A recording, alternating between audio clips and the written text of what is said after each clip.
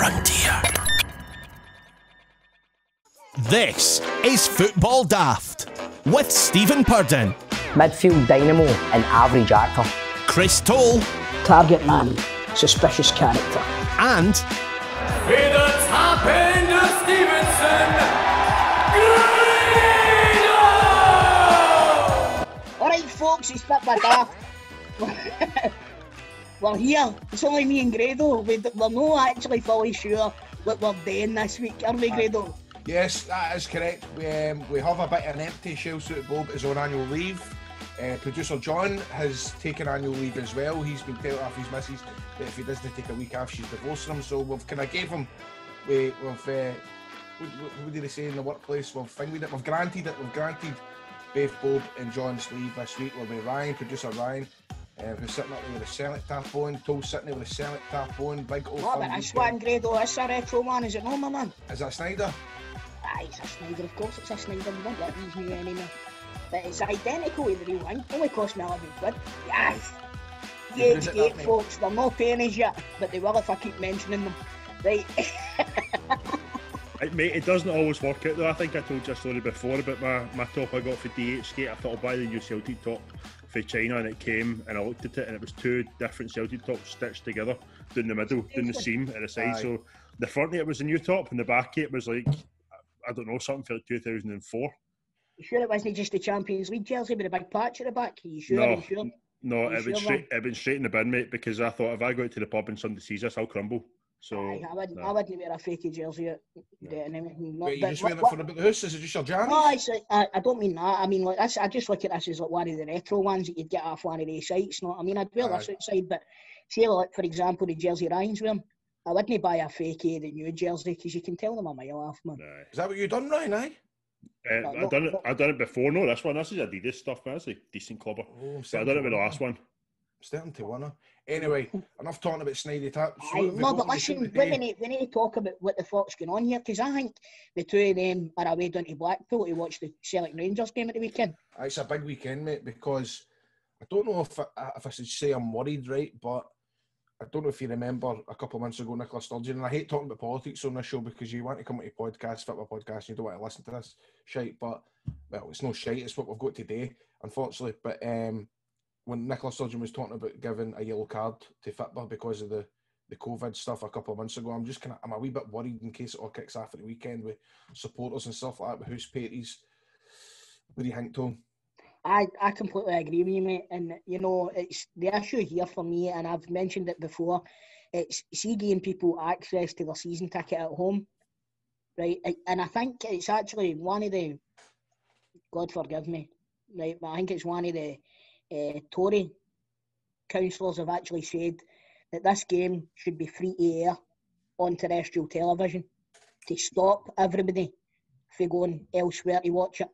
Mhm. See if everybody had the option to watch this in the house, you wouldn't have this problem, right? And I know that Sky obviously have got the rights to it and what have you, and it's going to cost money if they give the give the game away to everybody else. But why not just make the money back for this one game after advertising on terrestrial television?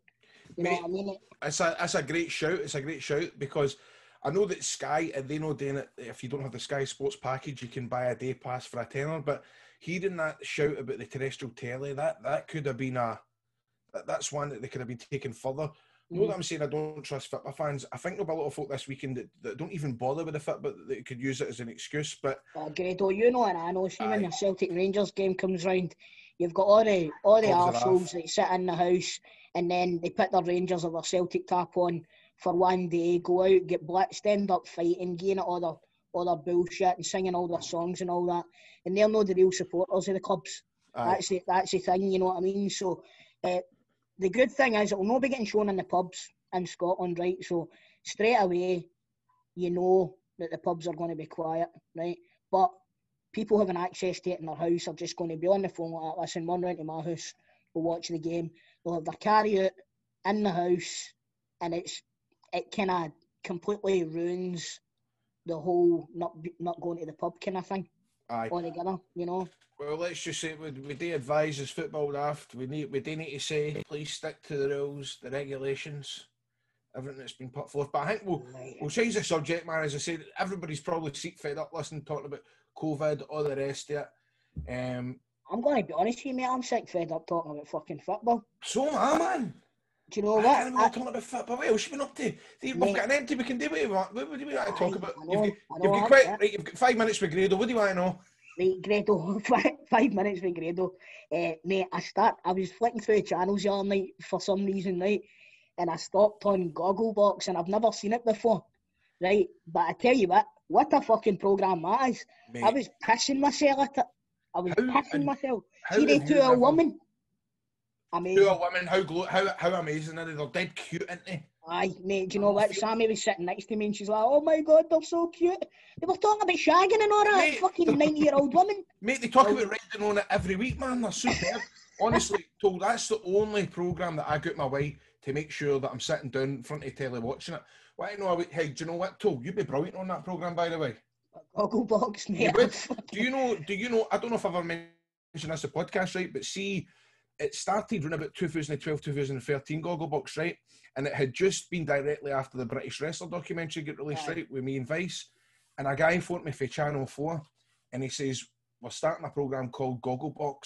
How would you feel about being on it, right? And so he explained it to me and all the rest of it. And I thought, man, sitting, getting, well, it wasn't, I don't think they get paid, it was expenses. You get your, you get your, um, you get your takeaway sorted, you get your chippies, you get your biscuits and your cakes paid for. Anyway, he says, look, here's the deal. He says, you can be in this series. You just need to find somebody to date with. And if Oh, you're mate, able we to, could have done that. mate, do you know what? So at the time, I was, I didn't, I don't know if I knew you as well as what I do now, but at the time I was looking at my brother to date, and actually he, he had mentioned Dallas, but here was the deal. We had to move to Manchester for the full of the three months that it was on because apparently they couldn't get rights. So I was put in a position because at the time I was working in the fire brigade in the control room Aye. and the, and the, and I had told him, look, I says, I work four on for after the fire brigade. I goes, I would need to take quite a lot of leave for three months. He says, well, we'll give you a bell back, right? So I'm kind of trying to work it out. I speaks to Rab Florence and Greg Hemphill, and they told me this was just right at the start. This was before River City and all that carry on. They were like, please don't do reality TV. You'll fuck it up. Please don't do reality TV. So a couple of, uh, it's all going through my head, but the phone back up and all ah, that. Listen, this is too much. I carry on moving you to Manchester. We'll just forget it. So I always just wonder, I wonder uh, what would have happened if I could put on that goggle box. Surely they're going to do a celebrity one. Me and you are shoo-ins for that, aren't we? Oh mate, the day the, the day the celebrity one, the celebrity ones are Gallus. No Gallagher's been uh, Liam Gallagher's been on it. You need to go Fuck. back and watch it. Aye, but I think a Scottish version of Go- Gogglebox would be good. Scottish Aye. folk sitting watching the telly would, would be amazing, man. It would be. You're right. Let's do it. Let, let's get that and Let's put the wheels in motion, bro. BBC Scotland, the new channel. There you go. Let's try and revive STV too. We'll get you in tell you, involved. tell you what, right? See if you see if you had to pick one show to go on, one game show or television like reality show. What one would you pick? Right. Well, you know what? You know what I'm going to say. Anything involving Michael Barrymore. I've I've realised that I, I- that's who I want on this program. I want Michael, Michael Barrymore. on? Podcast. Barrymore on a podcast. Remember he, he done a shout out for a mate a couple of months ago. If there's any program I'd like to be on, it'd be Strike It, Lo- Strike It Lucky. Top middle of Like it lucky. I'd be. I, I'd go for Naked Attraction. Fuck it. No, I mean, what a buzz! Imagine that having your bobby flailing about on live telly. Oh mate, I'd fucking I'd defo set my planner to record if I knew your Bobby was going to be in Channel Four on a Friday night. Biggin, biggin. Oh, begging. Fuck. Anyway, we will probably get our boys chewed or our arse chewed, whatever you said for for talking about. Ryan, do you think we need to go back to talking about football? What do you think, mate? Aye, Who let's talk cards about- today? Let's talk about Scotland. Let's talk about a little Aye, bit we of need to talk about. Scotland. Right. What's going on here, man? They're fucking. Do you know what? It's like watching paint drying, but it's effective. They're doing really well now, man. Well, he, somebody told me this morning that apparently Scotland have never because the guy for the, the news at Go Radio? He told me that this is the the strongest Scotland have been in terms of results in our lifetime. Me and him, we're both thirty-two year old. Have you heard that? It's. I think it's since 1988, just before it was the qualifiers for the 1990 World Cup. I'm sure. Um, we went. I think we went eight games undefeated, right? But if Steve Clarke, see if we get a win against, is it Slovenia we're playing? Mhm.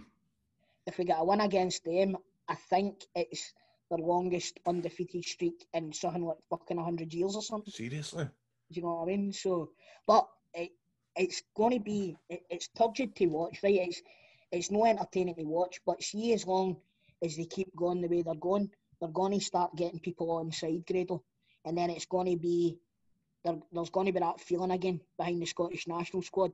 And like I said, see, it doesn't matter if they're not playing well. See, as long as they're getting the results, they're fuck, they'll, they'll get the they'll get the feet through the door for a start. Everybody will be on side. Uh, Clarke will stop getting. Well, do you know what? Clarke won't stop getting hassled because he's a Scotland manager, so you can't you can't please everybody. But I genuinely think they're going in the right direction now. Again, trying to sit through a Scotland game, I can't express this enough. Try to sit through a Scotland game is an exercise in fucking calmness because you sit and you watch it and your your head's going like this, you're falling asleep, and then it, it, oh, it becomes exciting within the last two minutes if you're trying to hold on to a, a result or if you know it's going into penalties. That's when it gets exciting. The last two minutes. Well, do you know what? I was in Dunoon at the weekend um, at a caravan site, and we had um, we had it on the telly. We had the Scotland game on the telly, and I must have lasted about half an hour. I stuck on Dennis the Menace on Netflix. So, but I mean, I put my hands up. It's just because I I was told, you know, I, I, I support Scotland, but I just can't get into it. I want to, but I think, as you say, the more successful we are, maybe we'll, I'll get the the kind you of know, you know what it does as again, well. then know what it I does look as as if well. I'm just a glory hunter, am ah, I? Just a glory No. hunter. No, because you know what it does, right?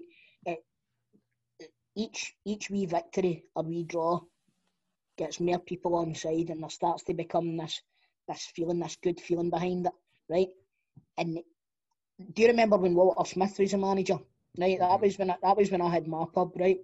Walter Smith was a manager. My What pub was it was it was called Twenty Four, right? It was in Coatbridge, but it was it was like the hub for the Scotland games. Mhm. Coatbridge is every pub is either designated a Rangers or Celtic pub, right? But mine wasn't. And all the Scotland fans used to come to my pub to watch the game, right? I remember the game against Norway when Awalono missed the sitter. There was that many people in my pub, Grado, that there was fucking condensation dripping for the ceiling. That's how that's how busy the pub was. I'm not kidding on, honestly. And everybody was just there supporting Scotland.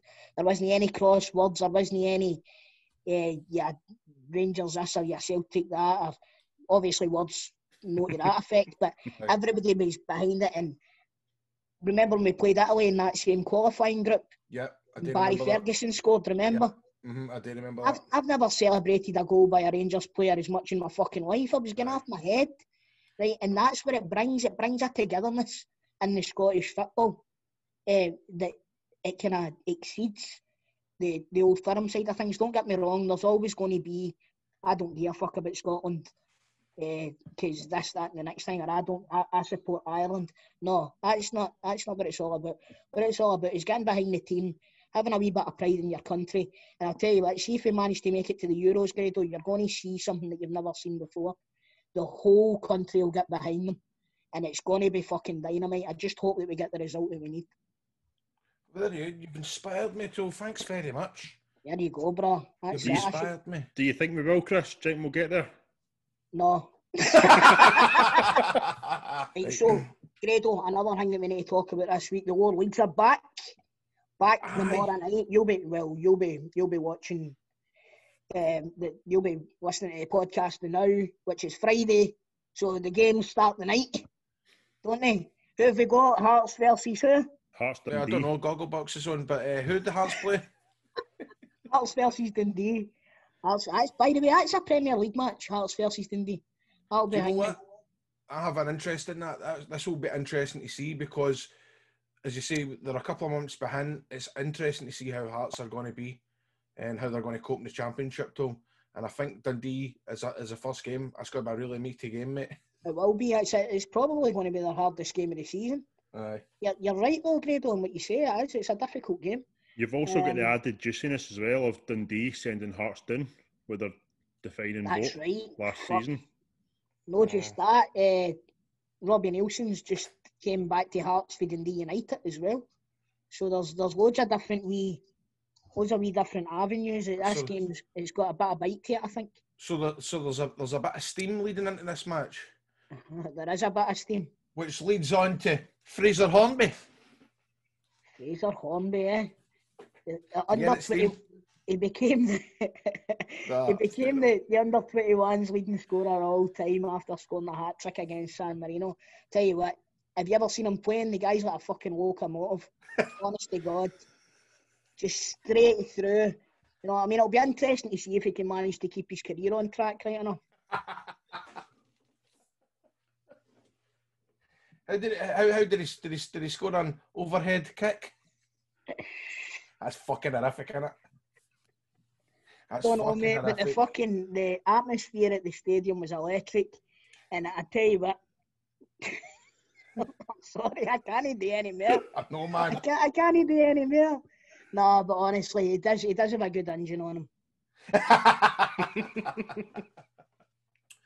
so on the show today, we welcome none other than football legend Chick Young. That'll be interesting to hear from him. So, Aye, I'm looking forward to it. He's been, he's been a fixture of Scottish football since well since before we were born. You know what I mean? The guy's been all over the world. He's, he's going to have some decent stories, isn't he? and on the Legends Lottery, it's my turn. So we'll see if I've come up with the goods because I'm right behind Toll on the league.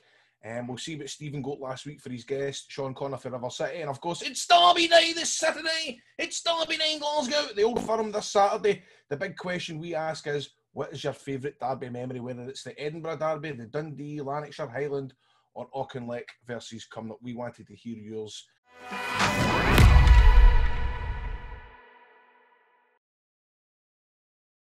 Remember, if you've been in a road traffic accident and you're not at fault, G4 Claims can make it easy for yourselves. And welcoming back to the show, the life, the soul of G4, it's Nicole. Nicole, how's it going, pal? Hi, I'm fine, thanks. How are you guys? Aye, we're good, pal. Thanks very much for coming on the show. Where have you been You're the last couple of weeks? I know we've kind of been Try, try to teach your dad how at- to use Zoom. My dad doesn't know how to use Zoom. Obviously, I'm his PA, so it's quite hard because you're trying to obviously get the claims in, pay Jim's wages, and be Jim's PA. So it really is a full time job. The man's hard work. Where is he today? His son in his cell. He's away to Spain.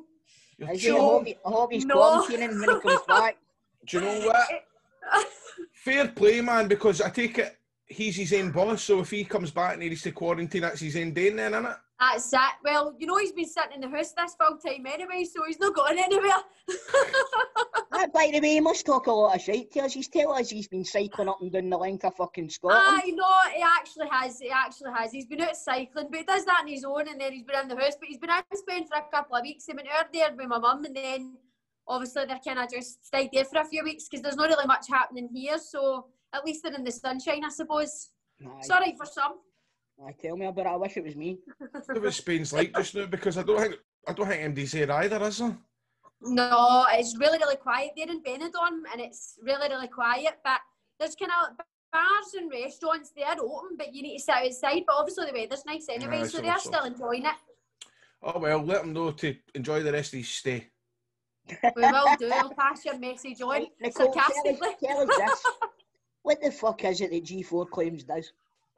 G4 Claims is an accident management company, so we can help you from the roadside of an accident. So, if you're involved in a non fault accident, why would you use your own insurance? Why would you make a claim against your own policy when you can claim the at fault insurance company direct? Now, dealing with them direct would be a nightmare because it's dealing with another insurance company. G4 Claims do all the work for you. We'll get you into a like for like comparable car whilst you're off the road. If your car's written off, We'll keep you in the hire car right up until the point where you're paid out for your own car and you're happy with it. If your car's re- deemed as a repair, we'll get your car repaired at a repaired body shop. And all the while, you will be in a replacement car. We can deal with your whiplash, personal injury claim. Um, and everything we do for you is free of charge. We bill it all to the at fault insurance company. So if you're involved in a non fault accident, then please contact G4 Claims. Non fault claims made easy. Do you know what? I must admit, Nicole, I've sat here for how many weeks is this? Has G4 sponsored the show? Oh. ever since the beginning. I'd I say about six months or something, maybe Right. more. No, it's been more than that because eh, I, I started doing the show in November last year, and Aye. G4 Claims has been the main sponsor ever since I started. But this is Aye. mental, right? I can't believe it's took for this time. I've just realised that it's not really he's on an insurance company that does insurance No. for your car or a wee run. You, you just use No. yours if you're in a crash. How has I that not been in my know. head? I the didn't- middleman. I'm not sure that's a question you need to have a word with yourself about, Grado, to be fair. No, I best think part is, need to Nicole, sit down in the it's, shower and have a good, strong, hard work with yourself. I'm, I'm, I'm a bit affronted that I, I, I haven't realised it's only you use it if you've had a You need to get your head out your wrestling and out your No. football and into your claims. Listen, I, I, I don't know, but I think you need. I think you need to sort out the word in this thing because Grado, you're the only one that didn't realise, mate. The, the word is perfectly fine. no, it's just when she says, "Why would you go to your insurance?" So that, I didn't even I- know companies yeah, like this exactly. And I'm not, and I'm not being thing with Bob, eh, Bob, Paul, whatever your fucking name is. I didn't realise that. That's a great for. What an idea.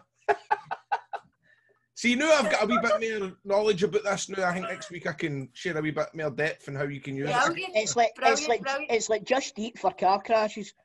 Perfect. Basically, that is exactly what it is. So when when you're obviously claiming against the at fault as well, it means that your your policy is totally unscathed. You don't pay your excess. You don't have a pending claim sitting there until it's resolved because no matter whether your accident is fault, non-fault, 50-50, when you phone your own insurance, they will always open a claim against your own policy until the claim is sorted on the back end.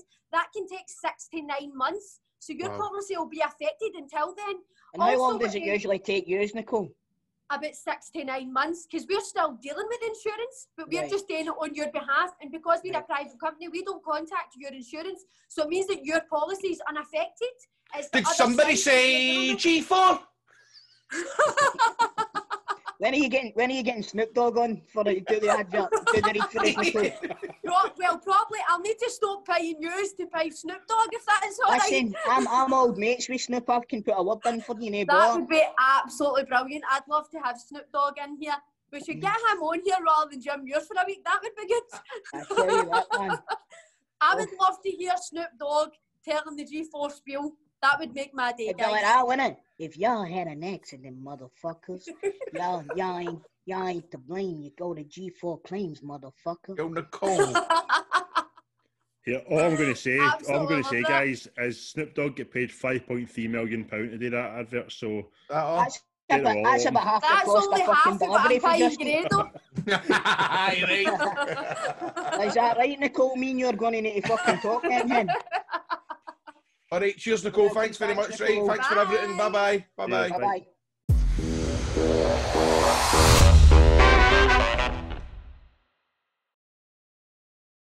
Right, folks, let's get down to brass tacks here. Uh, every week, we try to bring on a legend of Scotland, not just Scottish football, a legend of Scotland. In the past, we've had I don't think we should say that. I think we should say let's keep it with football. Right, okay, right, right, okay. Right, folks, let's get down to brass tacks here. Every week on the show, one of the teams tasked with finding a former hero of Scottish football and getting them onto the show. Then you rate how good they were out of five.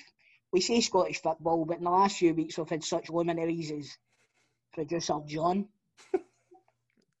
Gordon Smart, Grado's cousin that was once a fucking mascot for Kelly or something like that. Dynamite guest. And last week, Stephen brought on the legend that is Sean Connor for River City. So, producer Ryan, what did he get? He got a three. There was a, a lot of people um, commenting on it, but three is the average score that he got. That takes Stephen's lead up to 26.4. 26.4. I'm, I'm starting to feel as if this is unassailable, Grado. Well, it's um, you're right competitive about this. I mean, I'm right competitive about it. I must admit. I do think. See, at the end of the day, my mascot was involved in a game. My, my guest was involved in a game. Um, I can see why folk were going bush about the River City. He was entertaining. I loved him. But I can see why folk were getting wound up about him being a football player, but I can't talk. because I've got a wee bit something up my sleeve. I know that I'm getting close to you, Toll. Aye. Have you got somebody this week? Right, so here's the deal, right? Now, you know how there's a certain goalkeeper, ex goalkeeper, now current goalkeeping coach. I've been pestering him for months because if because I want him on the show. I think he's a hero, a Scottish football. He's not a hero, but you know what I mean. He's a legend. He's he's, he's appropriate for the Legends law. I know who you're talking about. Right, you know who I'm Aye. talking about. Well, we tell the guests who it was. We'll just tell who it was. Right, this is understandable why he can't come on the show. We're recording this on Thursday, and there's just been breaking news that St Mirren have got more positive COVID te- tests in their squad. Aye. Now, if I'm lit, is, is he a, a, the goalkeeping coach at St Mirren? It's the goalkeeping coach at St Mirren, former Aberdeen goalkeeper Jamie Langfield. As I said, I've been pestering for months, and let's just say sometimes it can be a wee bit. Uh, what would you call it? The weekend, he gets a bit. Rambunctious. He gets a bit rambunctious the weekend, and he starts. Well, he eventually replied to me and said he could do Legends Lottery this week, and just about half an hour ago, understandably, he told us that he couldn't do it. Therefore, I still need a Legends Lottery. Now, I'm trying to see how this would connect, but we've got a new resident in Stevenston. All right. Um, they say never work with animals, but my mate Martin here, right, a long time friend of mine, has uh, acquired in the last year uh, a guy called Mr. Chow. What? Well, Mr. Chow's a parrot, right? But it can talk, it can whistle, it can. Uh, it, last night in Facebook, he put up a video and it was going, "Always look on the bright." It can make what a cat says. It can meow. It can rough when you ask it what is a dog day. So please welcome to the show because we couldn't get Jamie Langfield. I hope that people will fairly rate me. It's been hard. It's been tough, but I've managed to get a legend. Please welcome to the show, my pal Martin's parrot, Mr. Chow. Mr. Chow, how you doing? All right, G. how are you saying to how's the parrot? I need to try and get her out. Right, Who's okay. that? Right. Who's your Uncle Graham? What are you saying? That? You've got a fucking parrot on the Legends Lottery. It's a parrot. Right. Right, get it to talk. Come on. You give him a song? Right, You give him a song? Hey, Listen, do you? here, yeah, I'll try and get it sound for right. Right, you give us a song? Right. Oh, it's not. We need, wait a minute. Stage fright. No, I fucking can't you would do this. Always look on the bright side of life. No, I did. right. Always look on the bright side of life. You do it. Hold up, watch, Quincy's in the camera. It's not doing it. This is died its arse, Greg. Right. died its arse. Right, Yeah. Mr. Chow, what does what what noise does a dog do?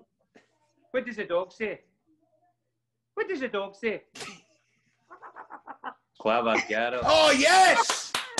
yes, we've got it. Hey, what does the cat say? What does the cat say? Meow. You tell him. What does the cat say? Yeah, you know where that? One Grado, of see if you see if you get five points for this. I'm I'm finished with the Right. Legends Lottery. Wait, which, what team do you support, Mr. Chow? What team do you support? Mr. Chow? Is that him doing that? Mr. Aye. Chow, What's- what, what's it like being a What's she saying hello to? Tell Right. him. Tell him. What does the dog say? No, he doesn't say hello. What does he say? What does that dog say? Eh? Aye, I'll tell Graham what does your daddy say. What does your dad say? That's pure stage fright, by the way. That's the quickest she's been to. See, I knew this would happen. So Martin put a video on Facebook last night, and the parrot was doing always look on the bright side of life. You were asking it to what is the dog doing? It was barking. Honestly, it was total entertainment. I can understand it's football daft. It's the number one podcast about the pair of buggers just get stage fright, and it, it happens. As Mark, we spoke on the phone. We, me and Martin spoke on the phone before this. It happens in every game show, doesn't it? And it's no different to coming on here. And it, This, this isn't a game show. What are you talking about? What the fuck are you on about? He's a Chris. Listen, Martin, thanks very much for coming on the show. I'm sure you've you've gave me a, a great rating, Mr. Chow. You and Mr. Chow, I'm sure. We're definitely going to do better than the Hibs player that you had on. Who else have we had on? He's better than River City last week. He- top entertainment. Better than Right. producer John, You seen Grado? Cheerio? Right, is it saying cheerio? Bye bye. Ta-ta. Ta-ta. Yeah. She blanked me. You're looking at the camera like that. What the fuck are you looking at? Well, as I said before, I introduced Mr. Chow to the show, never worked with animals. As I said, talking to you there, all the game shows I've had, all the big shows on the planet, I've had animals coming on and end up, you know, You're right. the mate. collapses and they get stage fright. Unfortunately, You Mr. Chow, remember- the remember occasion was too big. I can't I can't mind what show it was, but they got a horse on and it shot all over the fucking stage. Remember? Well, Live on the telly. Brilliant. What a That, would hand, have- that hand in Britain's Got Talent with one of the dogs. Uh, Aye. the I would have been didn't- jumped delighted. through a hole and it ran away and done a shine in the corner and ran off. I'd have been delighted if it done a shite, but I mean, you did hear it go hello. It said hello, didn't it? Hello, hello. Aye, there was a there was a hell of a lot of parrot kissing going on and all. Did you notice that? Is he kissing them? Oh, what a, what a load of parrot kissing there was. Thank you, Mr. Chow, and rate fairly.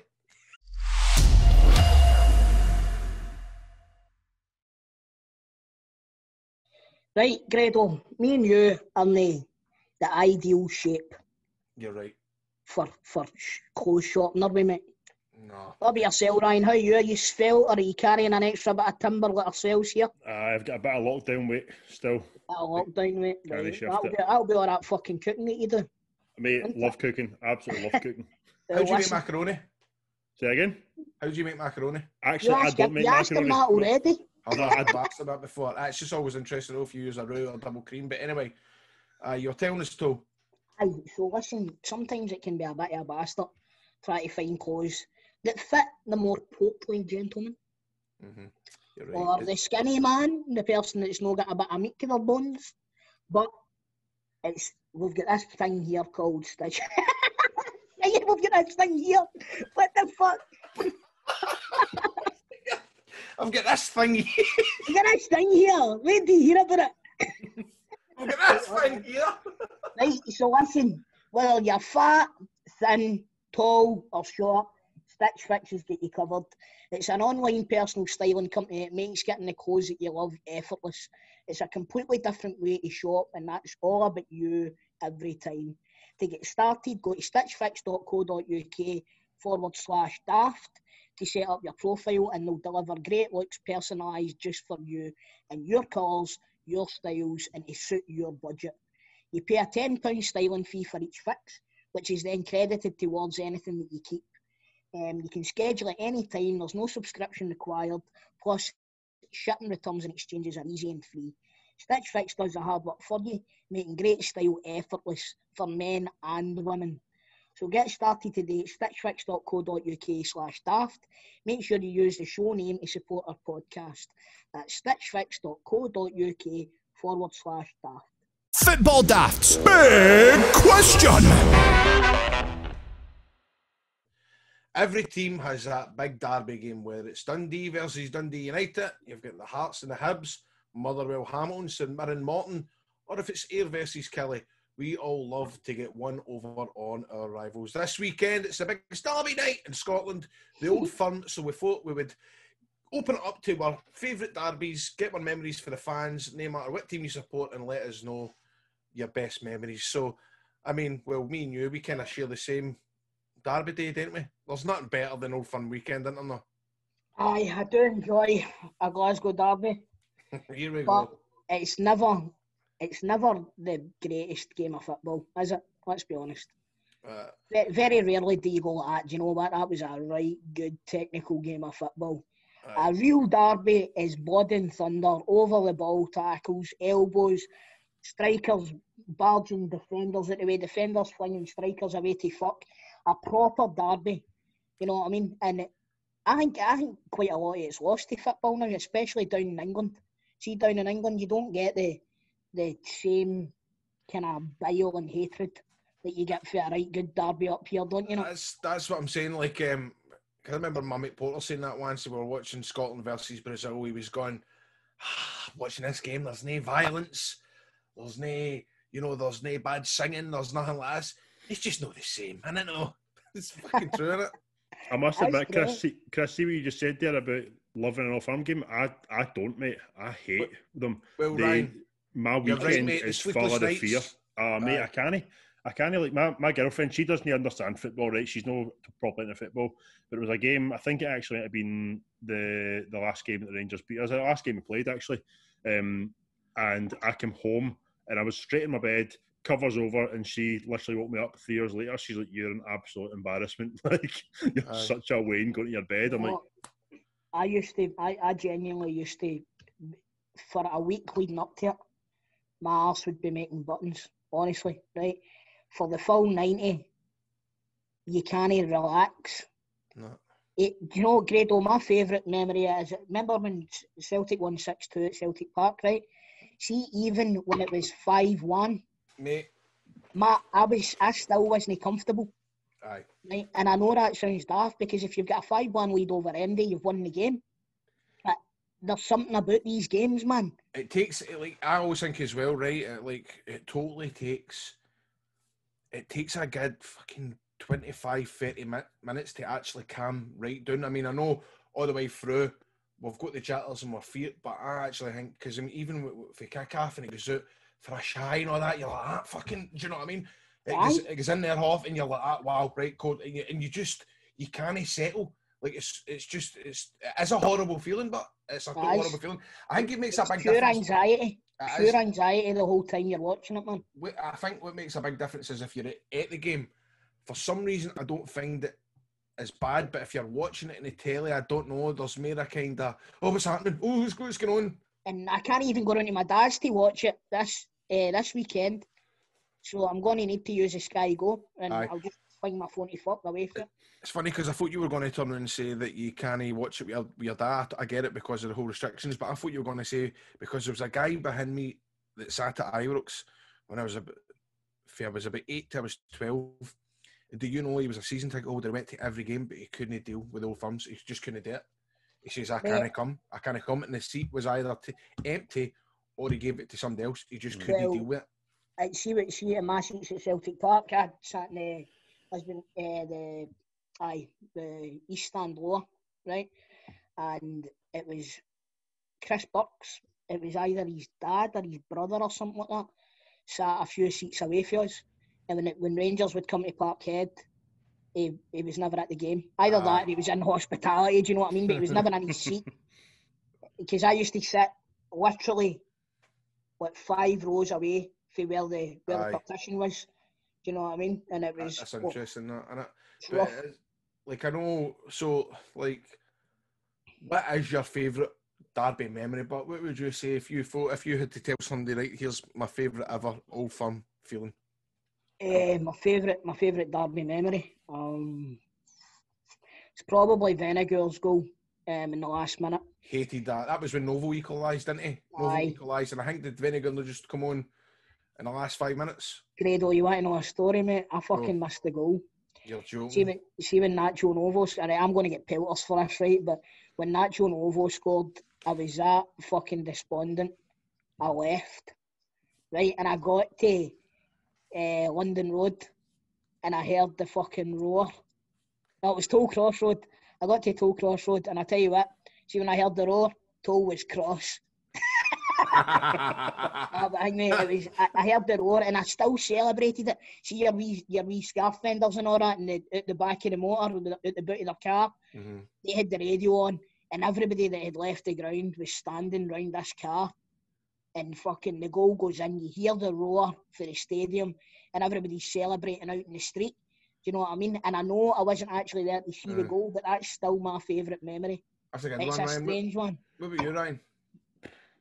Does it need to be a goal or can it just be a moment in a game? Because there's one Aye, that I it- find one of my favourite moments was when um, Halliday got subbed off and Morelos came on when Rangers were getting beat and all the Celtic fans were cheering, but they all waited until he came on. It was like, oh, then Morelos come on and the whole stadium, I think it was all the Celtic fans went, way! Like, I, I, Right, So it that was- is I your know- I know- favourite memory I as know a something Rangers for it was, player? hil- it was Come on, hilarious, but man. it was no, it I was just need- it was I need Talking to hilarious. about being that one. obsessed. No, I'm not. I'm not having that, mate.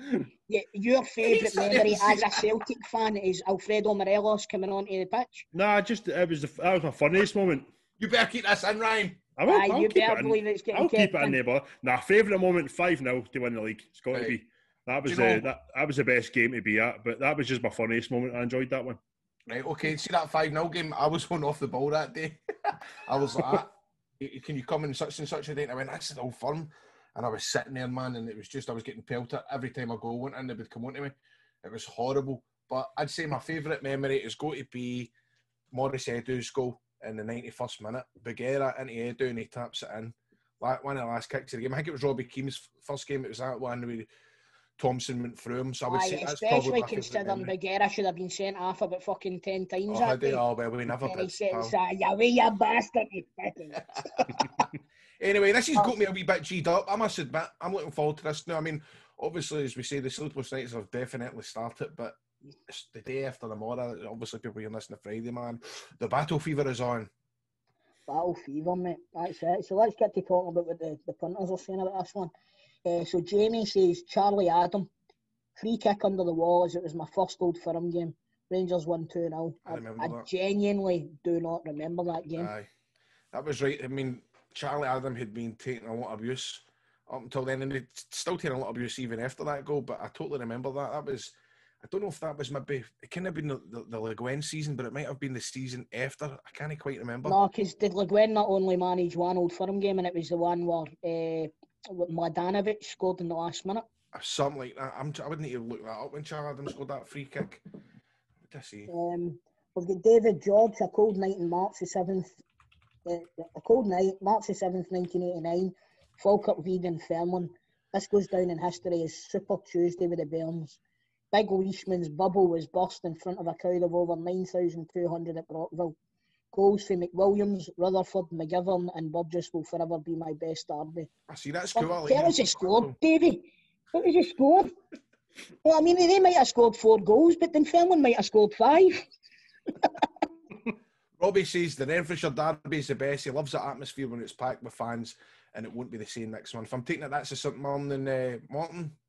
Derby. Yeah. Aye, aye. I wonder. Um, it's just weird, isn't it? How. It's, some, it's not really a thing that I would even get. I mean, they don't. They, did they get to play each other often? They don't. Did they have? Did they ever have one of the wee kind of yearly cups? You know, like the Battle of the Aye. Derby. man? I know what you mean. Now, Al- Albion Rovers do that. The Albion Rovers play Celtic every year for the Aye. Cup. So they do. Because you manage both clubs, don't you know? Anyway, right, uh, we've got Matty. I was in the Celtic for Samaras's New Year double, and I could see my mate giving me stick for the Rangers side. Uh, you could hear him. You were that close to him. Then Sammy scored his first, then nothing. After his second, I turned to look at him, and he'd disappeared. Seat was empty. That's that's another game I remember. I watched that with, with a Celtic mate Porter, who I was talking about before.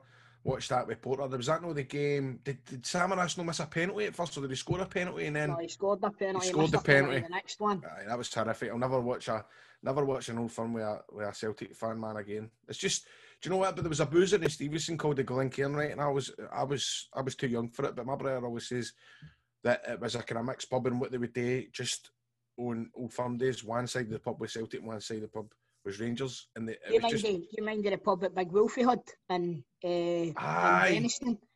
See, on Old Firm Day, the lounge was Celtic supporters and the bar was Rangers supporters. see that, that that's cool, isn't it? hmm That's, it, that's the way it should be, you know. You should be able to, like, see, any time there's a, a Celtic Rangers game, half of my mates are Rangers fans and half of them are Celtic fans. And we always, always meet up after the game. Always. Doesn't matter what the score is. You know what I mean? You, you sit and you talk about the game, you go, oh, what about that fucking tackle for such and such? I, I can never touch them, you know what I mean? You, Aye. you get that you get that banter and all that going, it's brilliant, man. There's mm-hmm. there's nothing to beat it. Nothing to beat it at all. David says, mine's has to be the 2012 Scottish Cup final. Best day of my life seeing Hearts hammer the Hibs at Hampden. Rudi Skacel's last ever game for Hearts and what a send off it was for him. Was that the 5 1 game? Five one, mate. I Aye. watched that at my mate's house on a broken telly. I remember Kurt Angle done a fucking autograph signing at Tynecastle and uh, I was asked to go along with the, the organisers there and the Hearts guy. He was like the weekend uh, hospitality guy and he was like, do this, Grado, put five, horns, five fingers there and one on there, and one finger there, and I'm going, all right, there, boy. And I totally didn't get that's what it was. And then the next day it was all, fucking Grado's a jambo bastard. No, that's not even care what it was about. Well, you're wearing the right jumper for it today, then, my man, aren't you?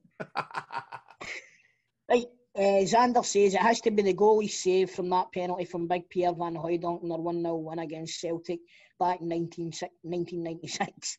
I was 16 and in a room full of Celtic supporters with some buzz. I remember see that see that game. I've got a pure memory of that. I, I mean, I must have been what, what year was that? 1996. So that would have been eight. I can remember that like it was yesterday. I remember sitting in the house Mm. with my dad, big Gilbert. I remember everything about that game. Was that not the game as well that um, Gascoigne missed a penalty as well, and, and big fucking Peter Van Vossen out to the bar. put the ball over the bar. Scott says August 2000, Celtic 6, Rangers 2. Martin O'Neill's first Old Firm game against a very strong Rangers team that had dominated in the previous couple of years. The free goal blitz in first 20 minutes was incredible, and Larsson's chip is still the best Old Firm goal I've ever seen. Hashtag that is sensational. What was that like that day? Mate, fucking hell, man. Honest to God, that like a couple of seasons prior, I'd never really experienced this hammering Rangers properly until a couple of seasons prior when Dr. Joe, remember we won 5 1. Aye, that's right. Anthony Moore was in goals. kind of Mhm. Like That was, even, that was 3 o'clock on a Saturday, that game. That's mental, thinking about that. oh, I know, man. That was the last one that kicked off at three o'clock on Saturday. Was it? That's good. A wee bit of info there, a wee bit of infotainment. too. There you go, infotainment, bro. Uh, but the, the 6 2 game was, oh man. I see what I said earlier on that even when it was 5 1, I never felt comfortable. Aye. One, Rangers had some side, man. They had some side. They had, they had Albertz, they had uh, Van Bronckhorst, Rod Wallace up front, uh, Barry Ferguson.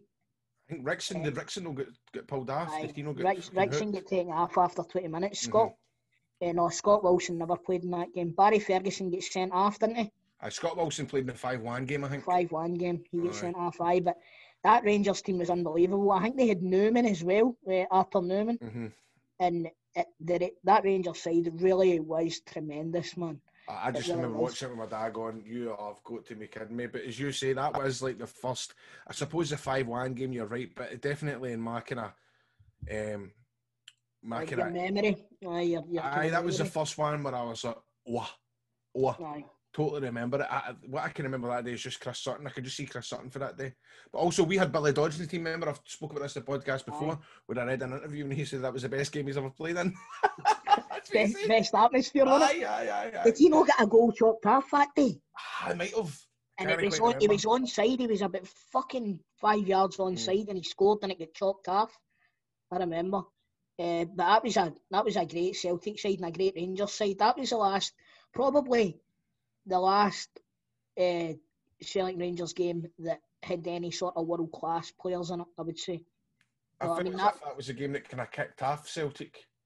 Aye, it was go, under uh, a new under a new definitely Grado. Aye. I would say because after that, I just felt it was the Larssons. Then you had. Aye, but then we went then we went to Ibrox later that season, and he's fucking turned us over five one. That's right. That's right. I remember that game as well. That was I think Amato was playing in that game. That was Flo's debut. Was it Flo's debut? That's Remember, right. he he fucking backheeled it into the top corner by Aye, accident. That's right. That's right. Wow, what a memory. I mean, because I remember, did he did Flo no get signed on a Friday and he played on the Sunday? It was Aye, and he scored. man. That's right, man. Crazy. I remember I was in Greaves Sports when it got announced that Rangers had signed Tore Andre Flo. And it was on the radio in Greaves Sports, 12 million quid. I was like, for fuck's sake. Where have they got that for? Well, we know that they didn't have it. So, And thank you very much for football. Your questions have been great.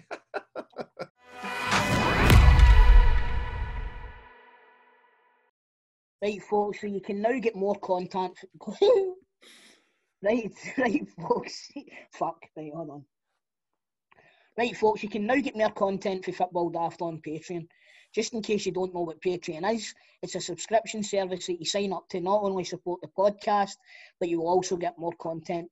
So a shout out to some of the guys that have joined in the last week. We've got Liam Davidson, Ryan Duncan, Goshi, and Larson Boy, amongst others. So we've set up three tiers from which you can choose for. Tier one is £5 a month and it's League One. On there you get early access to episodes, an ad-free version of the show, Patreon only chat community, and a full video version of the podcast.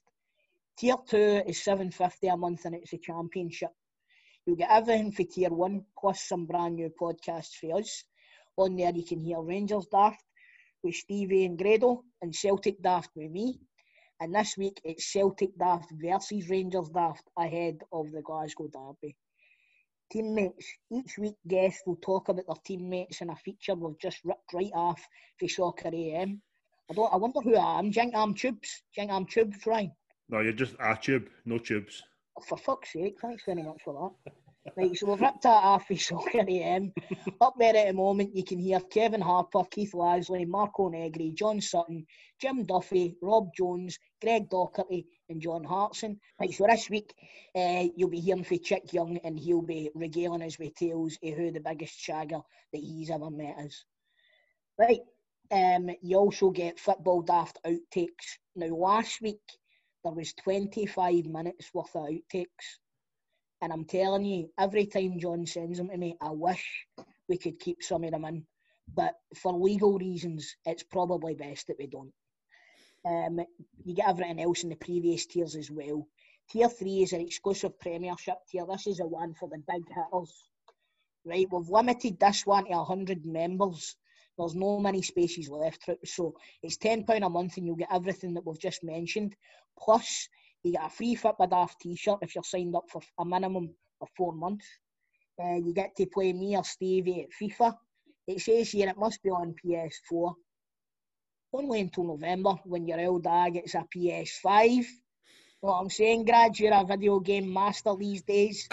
Going to need to hook yourself up with a wee PS5, my man.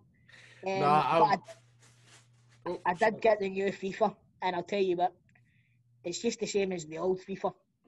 Mate, I seen a guy on BBC, um, the social. He just absolutely buried it and said the whole thing's all changed and it's a lot harder and it's taking the fun out of the game, man. It's came a long way for the old ISS, isn't it? I, do you know, I, I started a, I started a career mode on it, and it's you need to train your players and all that shit now. And Aye, fuck that. ah, fuck that, man. I just gave me a controller. I want to play. Right, anyway, uh, you get to play us on FIFA, and um, you also get the first chance to be the pundit on either Rangers or Celtic Daft. So we'll be adding more stuff to these tiers as the season progresses, and that's what we've got to start off with. So if you fancy uh, any of that, get your ass signed up to patreon.com forward slash football daft. That's Patreon. P A T R E O N dot com and football daft all one word. So get involved now as we would love to welcome you to the squad.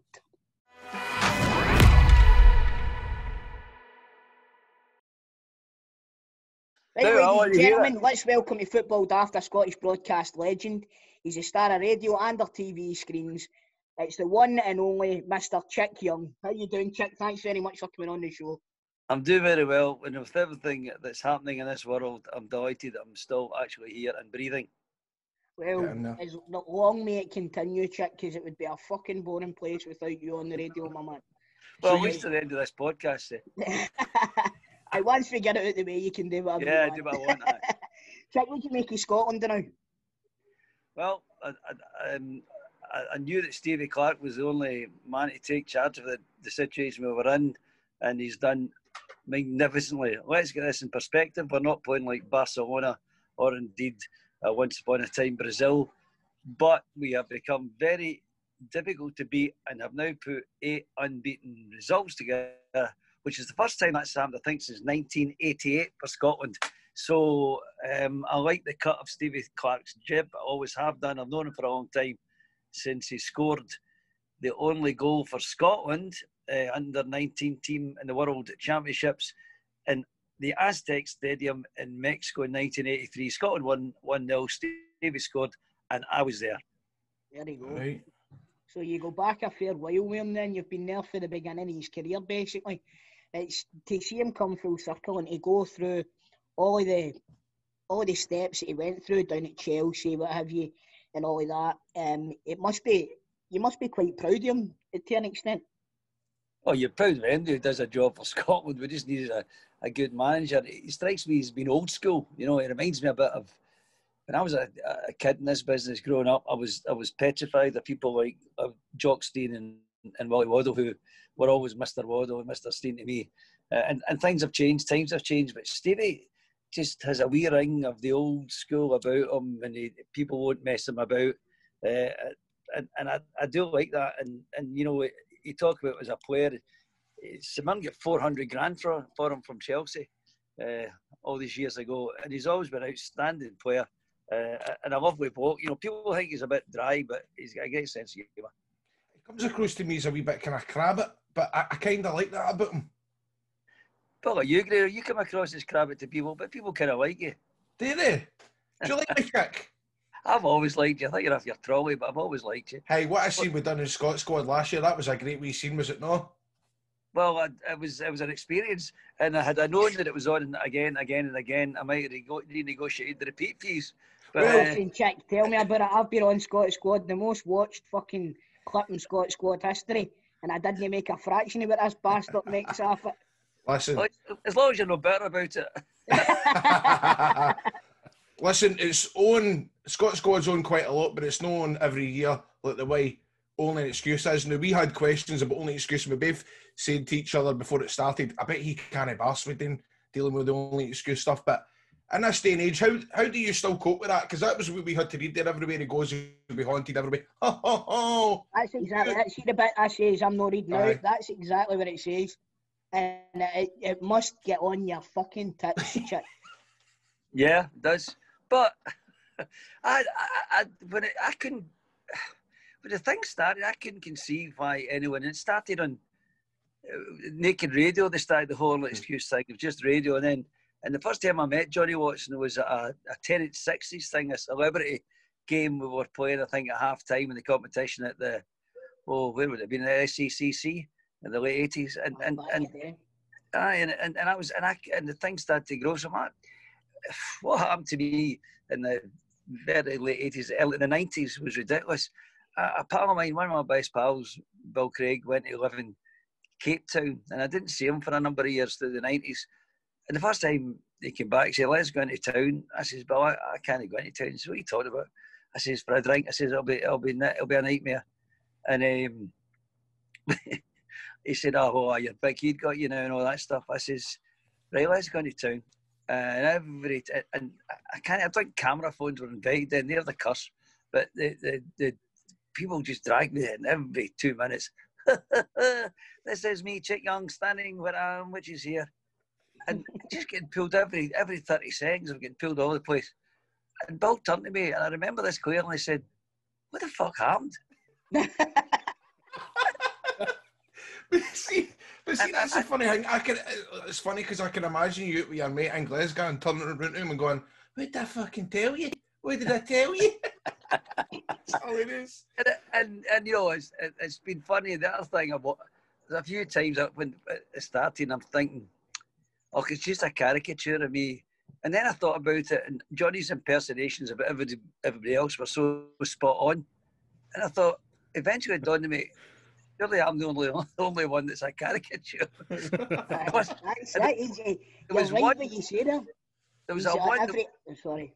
No, there was, there was one one uh, Hogmanay, um, with an ex-partner, and uh, we were in my house. I'd had a big, I had a Victorian conversion, a big, you know, high ceilings, and box shields, and big uh, mantelpiece. And Johnny opened this particular only excuse and Hogmanay with uh, leaning in the mantelpiece, dressed and doing the spit about the fate of Rangers. And I looked at my mantelpiece, and I looked at the one in the telly, and I looked at the room in the telly, and I looked at my room, and I turned to her and I said, "Did you let that wee bastard in here to film?" Because it was, it was dead. It was the double of, of my, my room, and how they knew that, I don't know. It's, it's Funny been you say that. You, you had a. It's funny you say you had a, Vic, a Victorian house. You you like Victorias, don't you? Chick? sadly not. What happened was, well, there were too many old flames there, and, and ironically, it went down in old flames. But that's not. You So- miss it, chick. Vicky's, I think my days. Of, I mean, I was past it when I went to Vicky's.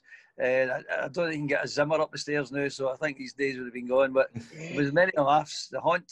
They should have turned down to the Scottish Football Museum. There's so many players, old players wandering about there. The ghosts of, Probably a fair bit of IL footballers' DNA on the floor and all, my man. among other things. There's actually a lot of players on the floor several times. But uh, that was that, that was that was. But the whole only excuse thing with Johnny and me, and he's a great pal of mine. Yeah, you know, he's a great guy. And um, I just think, of course, I can laugh at it. If it's funny, it's funny. If it's not funny, it's not funny. But Philip Differ's writing and the way they portrayed it, it made life hell for me with the whole Rangers thing. And but but you know, you it's been good as well, and it gives you profile and it, and it, it keeps you keeps you in demand when when you might be forgotten. So Aye. It was always interesting. Yeah, but see, you, you're talking about the, the Rangers thing making life hell for you. You can't get that anywhere, do you? You don't get folks still saying you're a Rangers fan now, do you? you kid me on, Grado. But well, what I'm saying is, if anybody actually listens to, I mean, obviously they take it for full and excuse and what have you. But I, I don't think it comes across like that on the radio show. I know it's obviously a bit back here on, but you, you still get that then.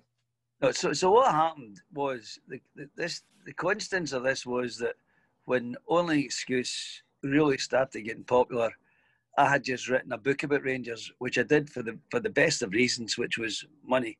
Aye. So so it was called Rebirth of the Blues, and it made me a lot of money. But of course, if if I'd written if I'd written a book about the Ku Klux Klan, would that have suggested I was in the Ku Klux Klan? Don't think so, but of course, everybody jumped to conclusion, and it suited them at the time that was a big Rangers fan. Now, listen, the background of this is I was born in Govan. I was brought up the south side of Glasgow. Uh, I went to a school that was about a mile less than from Ibrox. At one point, the headmaster was a director of Rangers. My brother, God rest him, was a big Rangers fan. Uh, my pals were Rangers fans. I had every reason in the world to be a Rangers fan, but I wasn't, and I never was a kid. I rebelled, and I actually would confess to when I was a young lad supporting Hearts for some bizarre reason. I never quite, I've no idea what that was about. Um, and then my stepdad, my dad died. My stepdad was a big St Mirren fan, and I never knew I was a St Mirren fan as a kid. But I started as my career began to build up. I started to be infected by the the curse of becoming a, having a person affection for someone because of my dad. And then he's he's he died the year after won the cup. So I've kind of taken that on board. But uh, everybody thinks I'm a Rangers fan to Paisley when in fact I'm a St Mirren fan for Govan. See, uh, it's weird, right? I'm listening to you talk there, and I watched um, American Murder Story last week about the guy that um, killed his wife and that, and the way that he was talking in the confession room and t- talking to the police and clearly lying. For some reason, I don't know. It sounded like you will just make that up as you go along. Then you're you're getting right out your way here to, to denounce being a Rangers fan, and then my dad, and then the headmaster, and my brother, and, and I like Hearts. I like Hearts. Exactly. He's, he's All not right. just that, he's flinging us off the scent, he's flung in a couple of deaths along the way and all. Know what I mean? All right, all right, all right, all right, boys. I murdered my wife. You only murdered her because she found your stash of Rangers jerseys. What, what I do in the bedroom is my business.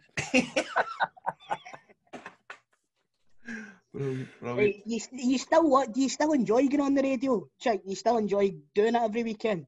I do, um, and and you know, uh, I, I never used the word retired. People consider you. I I, I, I, I turned sixty five a while back, and and I and, and uh, I just stepped back, but I never. I didn't want to retire. I'm still like I love the Scottish football world. I love going. I'd be going to games anyway. I love mixing with people talking about football. Um, it's been it's been my life. You know, I've managed since 19. I worked in I worked in as a copy boy in the Daily Record and a couple of local papers. But I have been a full time football journalist since 1973, and that's a long time. And it's all I've really known. And of course, you build up contacts. You enjoy the world.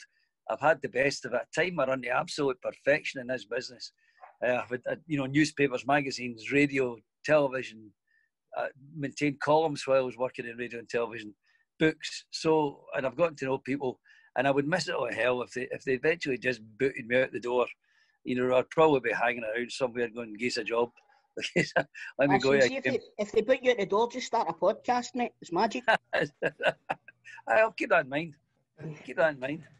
So fact, over over the years you've done, you've you've uh, been at numerous numerous football matches that I would have loved to have been at. What's your favourite one? What's your favourite one that you've ever you've ever been at?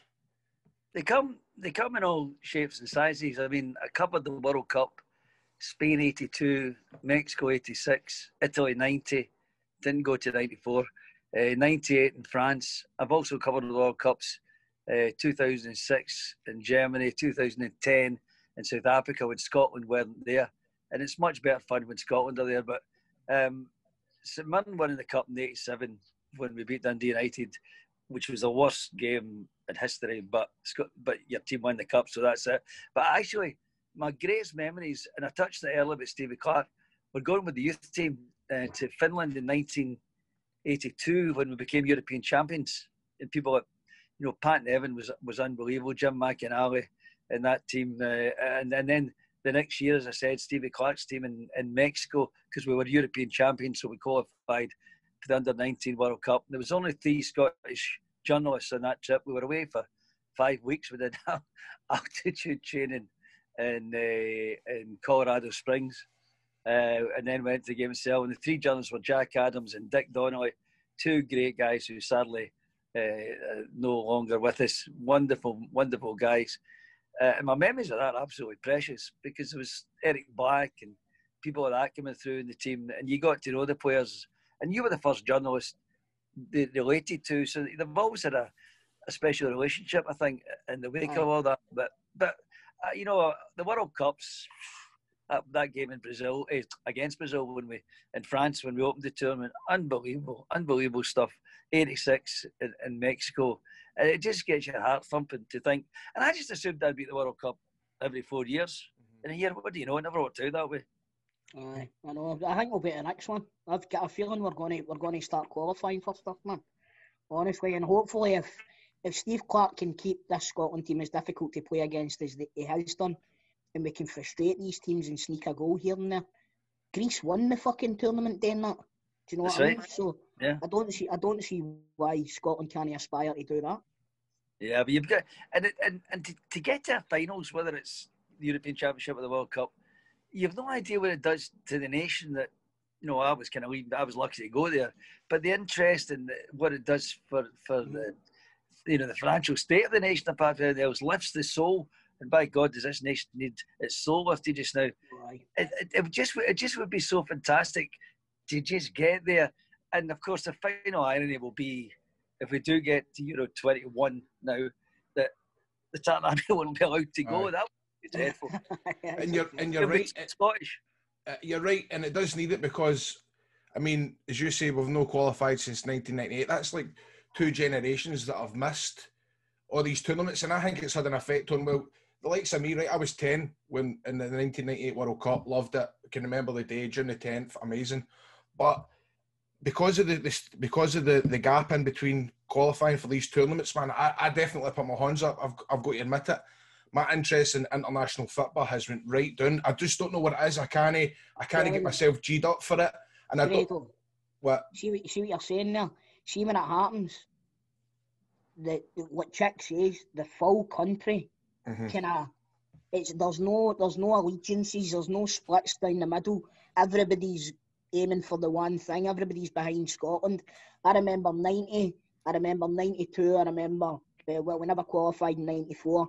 96 and 98 those are the those are the four tournaments I remember and it's you're standing there with your Rangers supporting pals or your Celtic supporting pals and you're all supporting the one team and it doesn't matter who a player plays for I don't know how many Kenny Miller goals. I went fucking tonto for watching Scotland. You know what I mean? But it's a check it. You you you'll agree with me here.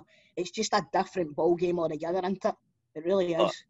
I, I remember even at a professional level, the night before the opening game in, in, in Paris against Brazil, um, we were doing Sportscene from, from Paris, a studio on, on a boat on the Thames, on the Thames, on the on the Seine, and uh, uh, it was it was definitely saying that was the days the BBC had a better budget. Anyway, eh, right, Chick. You, I had to go with a cameraman uh, into the night before the game and, and film a piece on the Champs Elysees, um, kissing as many Brazil and French women as I could. Now, that's a terrible job Sounds like one excuse. I'm not sure people would get sent out to do that kind of work now. But I tell you what, I, I had to take a bullet for the team and go out and do it. And just, just interview them, and it was it was it was incredible. It was incredible times, and what what, what a World Cup does.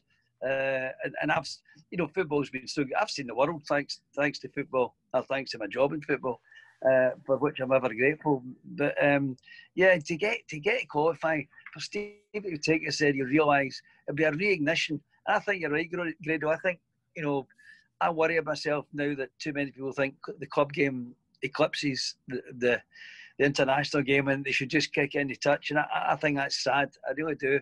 I still my heart still thumps when I watch Scotland.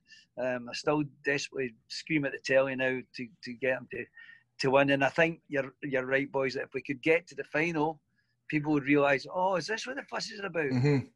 You know, whether whether you go there or you, or you you're back in Scotland supporting from here, you know, there's a lot of things going on, and it it just injects so much money into the economy as well. Aye, I mean it's just it, de- it definitely it's, it's what it's needed. But when when I hear you talking about when you were away in France and all that, and you've seen the world, uh, we we had Rob McLean on this show a couple of months ago, and what I loved was hearing. I mean, it must be some buzz, you know, getting sent out your flight itinerary, and this is where you've got to be two nights before the game, and you're checking in at this hotel, man. There must be. Is it see when you go these places? Is it if you go like a, obviously you need to work, but you must be looking up where they're going and where's good to go for to eat and where's the booze. It must be like a holiday for you. Well, I was that kept Rob's in the straight and narrow, of course, because I tell you the flights he nearly made and I didn't make rather. And uh, uh, uh, I think the other thing about the beauty of when I was going to World Cups, I, the first trip I ever went abroad was with Celtic in 1975. I think it was after Mr. Stein's accident, uh, and they played uh, Reykjavik. uh, So they played Akranes in Iceland, and um, I remember Johannes Edvaldsson had come from there and signed for Celtic. He was like the king of Iceland. Anyway, the point was, now Iceland is really one of the Outer Hebrides, geographically speaking. We went on the Sunday lunchtime for a Wednesday night game and came back to Thursday night. It was, and yet, and you'd one story to write a day for the newspaper, and there were no mobile phones, there was no internet. It was just brilliant, and Aye. yeah, so you lived life to the full. And I bet you it didn't hurt that there's seven women to every guy on Iceland and all, chick. Well, uh, you did ask some of my colleagues about that. I think the quality, the quality is the important thing, but I don't want to get into. It was just, it was just a good time with lovely, welcoming people. And you got you go, you go. I've been to play Moldova. Who would go to Moldova if you, Aye. if you went when you were, you know, Georgia? But Georgia's beautiful. Tbilisi is a beautiful city. But there are places I've been to. You, you know, you would. Most people have been to Spain or France or, you know, America maybe. And I've just been places that it's just it's just been absolutely phenomenal all over Mexico. Two two five week periods in Mexico. Um, it's just been ridiculous. The World Cups I've identified. Going with Scotland and with Bertie to, to Hong Kong and to, to, to Korea, South Korea. Uh, incredible stuff. So listen, everybody knows all about the Walter Smith interview where he went nuts at you, right? But has there ever been any other managers that have wanted to strangle you? Oh Christ, I Ian McCall had ran to me last week. Um, uh, Walters, I need to tell you about the Walter one because it was the it, was the, it was the day, the morning after the night before the AEK think It was at '93, and uh, I was sent out to interview him. And I've heard the story. Walter and I are great pals. Where still are. Um, but he's like he is a one grumpy bastard at times, and that was I knew that was going to be an effort. So he wasn't doing any interviews, uh, and I said I'm hanging around. And his secretary Laura, lovely, lovely, and said apparently said to him, "You know he'll not go away until you get and do it." And I would have staked out. I tell him to set up the tunnel. So up the tunnel, and you've probably seen the clip now, where uh, the beauty of it is Walter says I said something about what what it said, but I think it was Basile Boli uh, wasn't he good enough for European, and he said he'd won a European Cup medal. But before that, I, said, I had said something. So is Tommy Gemmell, but he's about sixty-three now. So that that was where I, I shouldn't have said that. That cracked him up. And there's a beautiful shot thing where if you watch it, he says you'll see the camera shake a bit, and he says, "No wonder you're laughing, Billy." Now Billy was my cameraman, Billy Frew, who sadly died of cancer a few years ago. Uh, and at that point, the beauty of the shot is Archie Knox, because we're shooting down the tunnel, and Archie Knox comes up the tunnel and says, and now Walter turns to him and says, Have you heard his fucking questions? And Archie says, Tell me, stick his microphone up his fucking ass. But the, the, the beauty of it was the shot, because Archie just walks through the shot brilliantly. Anyway, I kept the thing going because I needed to get a clip for reporting Scotland. I got him, and Walter knew in these days if you swore, you would never have been broadcast. So we saved. I got. I knew it 30 seconds, which is all I needed of decent stuff. And in these days, you go back to BBC, and once you'd edited your piece, you threw the all the tape was recycled. I decided to keep that tape in my bottom drawer. The next Christmas there was a BBC in-house Christmas tape that went out, and anybody um, there were always a, a memo in these days. Is anybody any good stuff? I said, I have got this great stuff. I mean, Walter Smith. And went in the Christmas tape, and I have to tell you, the in-house BBC Christmas thing was better than any program we ever made that went out. Fantastic. uh, more time and more love and affection went into it. Uh, and anyway, that went in, and what happened was the, the, the tape went out. It was, it was somebody took out of the building, which never happened, and they were it was downloaded on VHS copies and was shown in pubs and all the rest of it. Uh, and that's how it got out and how it was preserved. So people say, "Oh, how do you feel about that?" Well, it was me that preserved it. I could have thrown it in the bin. That's the point.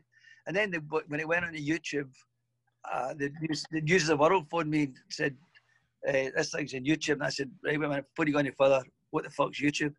So the boy explained to me. By that time, it had about a million hits. I phoned Walter. Walter said, "This thing's in YouTube," and Walter said, "What the fuck's YouTube?" and I said, I'm only because I'd explained to me." I said, right. He said, there must be money. And I said, if we get a pound a hit, that's a million pounds. We can give it to charity. and I said, you can do what you want with your half. But anyway, the thing, the thing is going on, and it's now it's turned full circle because Walter's been haunted by it because his grandson said to him a wee while back, watched it on YouTube and said to, to Walter, Granddad, why are you swearing at that man? so it's, it's come back to haunt him. It's come back to haunt him. But I, I want people to know that I don't run from it. It was me that kept the tape, or it would not have existed. And there's so many over the years that I probably should have kept as well to show that it was. Um, Bill McNeill used to make me sing the Celtic song and the team bus when we were away and, and tour before he would start the engine, get the driver to start the engine. Who's that, Mark, Mark McNeil? Team, and we go. Billy McNeill. Billy McNeill. Aye. so way back when I was working in the Evening Times, Billy was a fantastic human being. I see that. I love that story because I remember hearing talking about it before. That it's see, I had originally, I didn't know that you had preserved it. I knew that it was a, a tape within the BBC, but did you like? Did you know? Like it must just have came out of nowhere, the YouTube thing. But for years Uh, it was kept Oh, away. it's just- so, so Grado, it was, it was. So what happened? Somebody in the BBC copied it on a VHS tape, and they were showing it around pubs because there was no internet Right. then. so they were showing it around the pubs, and um, and uh, they actually the news were phoned me about this. There was grainy footage, and then um, somewhere down the line, ten years on or whatever it was, YouTube had started, and somebody had got it on, uploaded it, downloaded it, whatever it is, and. Uh, that at the start of YouTube, and it's I don't know, it's about three million hits or something. It's Oh, it's just- got more than that because. Grado, you're breaking up, mate. Oh, sorry. it's good I through says- hard times. Can you hear me now? Aye. Aye. Aye. No, but it's been replicated and replicated that many times, man. and It must be near to about what, about 50 million hits, I would say, the amount of times it's been shared on Facebook. I, I'm telling you, it is one of the kind of. Is there any other tapes out there that you check? No, is there anything? Uh, I think there's I think there's one of me and me and- is there one of me and Jim Traynor But when there's there's there's a lot of jo- jo- I, I, I, I, this may come as a shock to you, but I don't lie in my bed at night and Google myself. That sounds worse than it's meant to be. I remember, I remember I was at a charity football match once and you were playing in it, right? And you were no fuck, you were fucking no bad. I'll be honest with you, you were no bad. You still kick a ball. I've still I'm still playing sixes. The eleven in the side game has passed me by. We had- yeah, it was probably the great Duke Dukla Pumpherston thing. Now there's another great adventure of my life. Twenty five years of going around the world with Dukla. You know, thing again started um, from the the naked uh, the naked radio thing where they had a, they had a fictional a fictional amateur team called Dukla Pumpherston Sawmill and Tannery, uh, and that was Johnny Watson and, and Johnny Watson and Tony Roper. And I had what happened about 1988, I think, anybody there. Um, Variety Club had a had a, a, a the, the East Enders had a had a charity football team, the Casting Bates East Enders, and a couple of ex pros and that.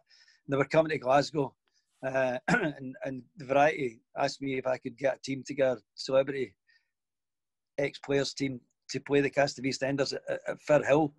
Uh, and I remember I got a team: Big Andy Ritchie, Alan Rough, Jim Leishman, Walter Smith, um, uh, all the boys. The, the, the McDonald played, I think. Uh, there's a picture of it I saw quite recently somewhere. Anyway, I remember 7,000 people turned up. I remember the directors of Partick Thistle saying to me, what, what is all this? I said, it's a fucking crowd. And they, they never they never saw the Spanish side of that. Anyway, so the thing, people came to me. We won the game 2 0, I think. But anyway, so so people were coming to me. Oh, yeah, you're on a a, a, a, a celeb ex players team. No, not really, but we can get this team together. And it became more and more regularly regular. Tony and Johnny played, um, and something John Blackley, John Brownlie, we Alan McDonald's. It, it, was brilliant. Ali Hunter became the goalie. Big Ruffy wanted to play up front. Uh, uh, and we great fun. Danny McGrain, Danny played. So we had a better team. Uh, and we adopted the name Dukla Pumpherston from the Brilliant. from the thing they did Naked Radio, and it grew and grew. And we had a dinner every year, 25 years of a, of a dinner, massive dinner, uh, which was fantastic fun. We went around the world, uh, literally playing charity games. We went to Brazil, Canada, South Africa, Spain. Um, I mean, the, the jaunts and the adventures and that, playing games, and, and, and with the dinner to raise funds to go and play, and we'd play for charities in these countries I've just named. I remember we played three games. Did you know I've played all your games in Scotland and donated the travel money to the charity? No, no. An international. I mean, would you like it? Celtic never played out of the country and raised their name. Listen, we, it's fucking starting to get that way, chick. I think we were. I think we were in, Celtic, in Europe longer, but it was it was it, it, it was fantastic fun. Um, uh, and, and, the camaraderie with with the boys and the banter. And I think I think players miss the dressing room atmosphere when they retire. And when we were away together, the, the crack with Cuba, we went to Cuba for a week. Uh, it was just ridiculous. And some of some of these stories uh, of, of these trips, I, I, keep getting asked to write my autobiography, but I'm never going to. I don't think oh, I've, that'd be good. The only thing I've nailed on, Grado, was I've got I got the name yet. I'm going to be called. I'm going to call it. You're never going to believe this, because I think that's exactly what what the reaction will be when it happens. That's amazing. the best part is Grado's still waiting for the name of the book, yeah. Can you tell? Can you tell? Am I making it that obvious? yeah. Uh, what was I going to ask you? Whatever. Ah, how's Cuba, by the way? Because that's after the quarantine list. I read that this morning. I've got a week off in November. I'll get yourself. I don't think I would say, uh, first time I went was 97 and I went back 2001. And even in these four years, the change was incredible. You know, and the whole relationship with the Americans has kind of screwed it up a bit. Uh, mm. But but wonderful people, fabulous island. Um, yeah, I, I loved I love Cuba. Get yourself there, absolutely. Uh, well, I'll, get you, I'll get you some cigar lists. Right. Cigars. Tidy. Well, it's either going to be Cuba or Millport, so we'll see what happens in the next couple of days. No contest there. You're talking about Fantasy Island. Fantastic. oh man. So um see when you were see when you were playing for Dukla Pumpherston against EastEnders, did any of the big hitters for EastEnders try and put a mark on you?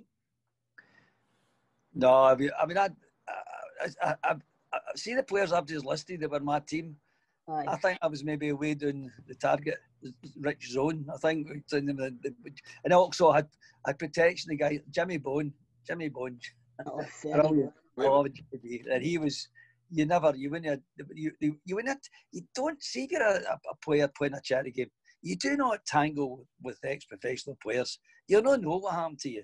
You know they get you, you, they get two try try the big man and they get one or two tackles in and last one son and the next thing the boy's doing, he's never, he never know what happened. Professionals no thing.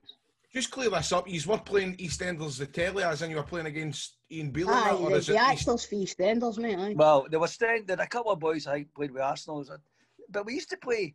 We, we played all sorts of teams. Stan Bobby Boardman, Jackson and that. Stan, Stan Boardman brought a team up to Liverpool. We, we played at Broadwood. That was the other thing. We got to play in. There's not many stadia, and and I played. I played at Hampden, Celtic Park, Ibrox, Smurn Park. I mean, right through the. There's not many. Motherwell. there's, there's grounds in these charity games that I've played in. Some of the greatest players in Scottish football history haven't they played in? It's Mhm. at Wembley. I played at Wembley. It's, it's ridiculous. I played in the, I played in a game to when Hampden was rebuilt. Was that '99? And they and then they had a game to test, you know, the, uh, access from fans and all that. There was twenty-seven thousand. Rod Stewart was playing in my team. Tommy Burns was the captain of the team. Right then Ruffy, I think, and then Kenny Dalglish, myself, Rod Stewart coming out. I thought, I'm the only person in this lineup I don't recognise. I tell you, who was a player in one of the charity games that surprised me. Peter Martin. I mean, you Aye. got to see the belly on him, but he's shit hot. Did you see him at Airdrie, uh, Toe? The way he Aye. I, I played in that. I get sent off in that game. Oh, did you? So I did. No, no, it was the first one I get sent off in. Ah, Get sent off for sticking your head on somebody in a charity game, chick. I'm ashamed of myself.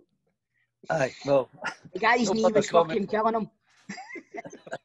aye, Right. Peter's a lovely touch, lovely touch in the ball. Aye, he's, a- he's, Likes the wee, dra- likes the wee drag back. aye, he was definite. It, it surprised me. I couldn't believe it when he was playing. St- Stands in that stands in that centre circle, doesn't he? He doesn't fills do much running, but he picks the ball about. Aye, that's it. No, Hey, it's well, Peter's that's- lovely we ask one more question before we get to the quiz bit. Toe, what do you think? Aye. Chick, see if you were interviewing us. Aye, Let's- wait, wait. Aye, give some, give some advice here. Give some podcast advice here, Chick. We're thinking about the last question to ask you before we go right now. We've not got our usual producer here, Celtic Bob isn't here. We've got stand in Ryan. If you were if you were us interviewing Chick Young, what would you want us to ask you? That's a good question.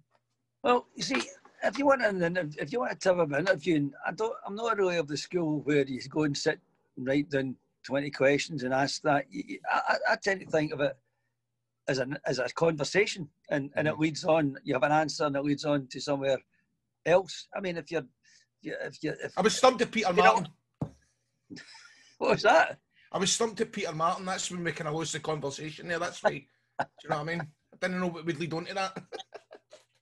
Ah, well, you, you, you, people, uh, I mean, there, there are cliched questions about any regrets or what you wish you'd have done and all that kind of stuff and what's going to happen now. I, I, I, I don't think you should script out an interview. I, I've worked with producers who say, right, A, B, C, D, but I, I tend to just like, and you have a, the other thing is, if I was in, you said if I was interviewing you, well, I, I like to interview big names, so this really wouldn't be happening. Well, you wouldn't you wouldn't be interviewing Grado. Oh, Oh, great. I You? think I, My, Grado, name, my name's quite long, Christopher Charles Toll. That's a big name, isn't it? Grado actually, I tried to drag him into big time and he snubbed me. He went to sleep for 24 hours. oh When I- man, that was that was bad. I totally forgot. I totally forgot about that. That was horrific. What was that? The, the, the Graham Souness So, night? so, so I managed to organise on behalf uh, of Deborah a charity. Um, it was a fantastic thing. I organised it. We, we I helped to organise it. Uh, so we got we had, we had Graham Souness and Walter Smith and Martin O'Neill and Neil Lennon uh, and a joint Rangers and Celtic, an old firm united for Deborah, and it was a magnificent success. Uh, and asked your man to be a guest, and he, he never he never rocked up. Empty seat at the table. Hey, that chick had have been the first one in the hall, my man. Tell you what, what a piece of shit arm. You're We a piece of raised- shit, by the way. We raised a a hundred. We raised one hundred fifty-eight thousand pound at one dinner in March. gonna and go just- one five nine. So just Deborah, Deborah lockdown. have been delighted then with her hall, eh? That was a very good charity, and if you saw the cause, so and Graham Souness was the man who kind of kind of drove it on. It was he's that's his adopted charity, but you know Walter Smith and and, and Martin and Lenny never blinked. Uh, yeah, we'll be there. Never took a penny, and it was what a laugh. It was a fantastic night. The great John Gahagan finished off the night with Oh, ch- check how funny is John as well. Gahagan, man. funniest, Shit funniest speaker I've ever heard. Full stop. The He's man the is- best, isn't he? Fuck He's, you, tarred with a brush. he's dead unique as well, into the way he goes on. It's just it's full of energy, and he's all like, I love listening to him. Aye, so do I. I've seen him a right few times in the Airdrie Workman's, and he's funny as fuck, man. Really, really funny. At the end, at the end of our interviews, Mhm. um, we ask people, our guests, a quiz on Scottish football. Right? We've had some belters on. We've had, uh, we've had Kenny Deuchar, Keith Lasley, Mark Wilson, Kevin Harper. We've had Frank McAvenny, Owen Coyle, ironically Johnny Watson. So that's the one that you're looking out to beat, I think. Uh, and the worst one on in the whole time that we've done this is was David McCracken. He only got one question right. Right. So there are questions about the game. Questions about football, my good man. I, I originally asked the, our, our normal producer, John, I wanted all of these questions to be about St Mirren, right, to see how much of a big St Mirren fan you actually were. But he's shot the bed and he's just done a normal quiz as usual. Right, so we're, we're going to go for a normal quiz. You get 90 seconds. Oh. You're not allowed to pass. Even if you give a wrong answer, you've got to give an answer, right? Right. Um, are you ready for this, chick? Yep. Right, Ryan, have you got 90 seconds on the clock, my man? Yep, on you go. And your 90 seconds start now. Which club did Scott Brown join Celtic from? Hibs. Who was the last Scot to lift the European Cup? Andy Robertson. How many league games will there be in the lower leagues this season? 27. Which team do you really support? St Which club have a steeple on their badge? Falkirk. That's not right. Partick Thistle's Ricky Foster is married to which pop star? Eamon McDonald. Which player has the most caps for Scotland's men's team? Kenny Dalglish, 102. When was St Mirren founded? 1887. Clive Tyldesley is the commentator for which club's TV channel? Rangers. What three players were put into self-isolation from the Scotland camp? Ryan Christie, Stuart Armstrong, and uh, Kieran Tierney. What is the name of the project being led by Liverpool and Man United down Oh, south? uh, uh, project, it's all about us. What's the name of Paisley Panda's wife? Uh, Mrs. Panda. Who scored the winning penalty for Scotland wife? against Israel? Say that again. Who scored the winning penalty for Scotland against Israel? Kenny McLean. What League Two club have a Norwegian supporters club? Stenhousemuir. Who have the bookies made favourites to win this year's championship? Hearts. What club are nicknamed the Gable Endies? Uh, uh, uh, the, the blah, blah, blah, a broth. How many Time. Scottish Cups? Time's Time, up. Time's time, up. By the time's way, up. you only get two wrong there. You get to answer, fl- finish the last question. Oh, sorry, Tom, do didn't you? that. Um, how many Scottish Cups have St Mirren won? Three. Right. Right. I'm going to go back, and you only think- get two questions wrong there, right? And one of them was when were St Mirren founded? I know. I know. I know. I shouldn't have said that. What did I say? I said 18. You, you said 1887. It was 1877. Check. Seven, seven. I knew when I said that. Oh, that's why I was laughing at the back. Yeah. Right, and the, the club that's named the Gable Endies is Montrose. Rose, I know. Oh, right. oh. So how are we looking then, Ryan? Oh, he's not as fast as counting as John. No, I'm just I was just going back to check there. I've got him By the down way, as we've got we've got a new leader, Grado. Seriously? Check, you're top of the tree with 15 correct answers. No way, you're top of the league. Can't believe I get Simon wrong. That was stupid. There we go. That's you. You're, you're top, joint top with John Sutton. 15 Yeah, and there, questions check. You can tell your pals. That's Aye. it, man. I'm I not don't think he's going to be telling his pals about this interview. Ah, exactly. I'm going to tell my pals that was on this. Well, Chick, thanks very much for that. Did you enjoy yourself? Yes, I did, boys. Very much, very much. What was your favourite bit? Th- Just signing off now.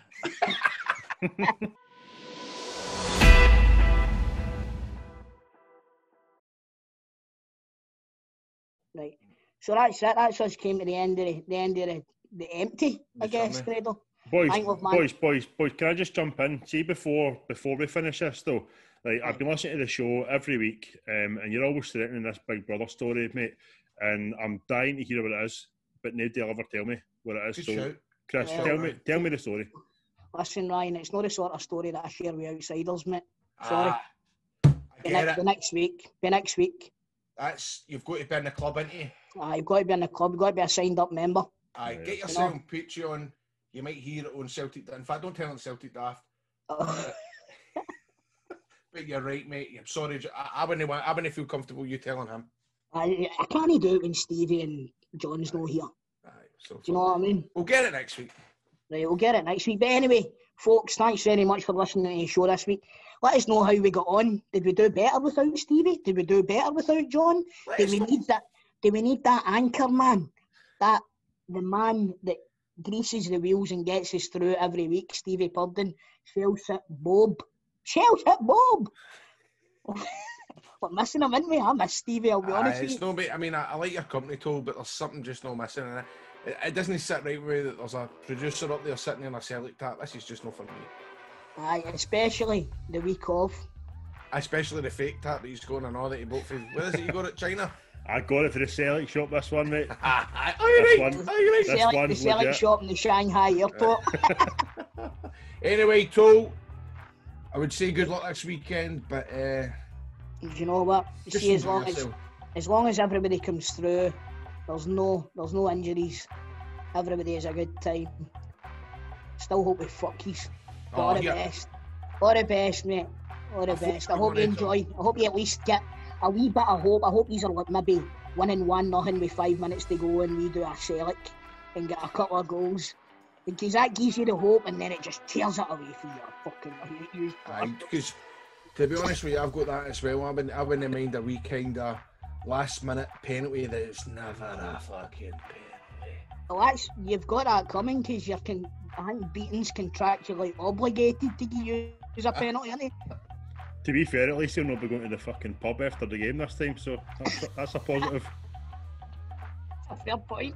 There'll be no forties of brother John in the boozer. Fair play, fair play. Right, this is Dave Man and this, this is two on one. He's sitting in your Celtic taps. Listen, troops, if you're listening to the show this weekend, just watch yourselves, stick with the, the rules, all the rest of it. Remember, take care of yourselves. And each other.